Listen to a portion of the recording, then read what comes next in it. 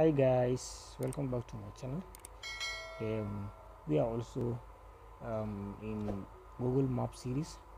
And today we are going to continue.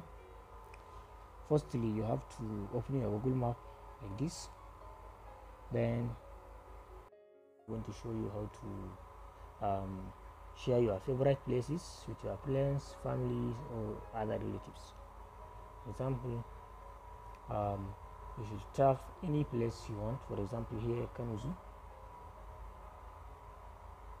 then you should select here which is save so if you want to save it for example as your favorite place you should tap here and then put it down.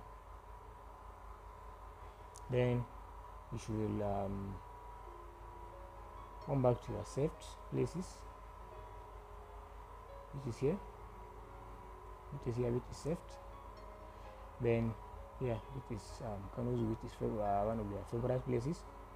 Then you should select here which is here.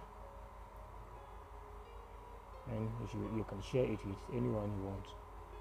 Be it um, email whatsapp or so or you can even um, copy it to your clipboard. I hope you found this video very interesting. Don't forget to subscribe like and share bye. See you next time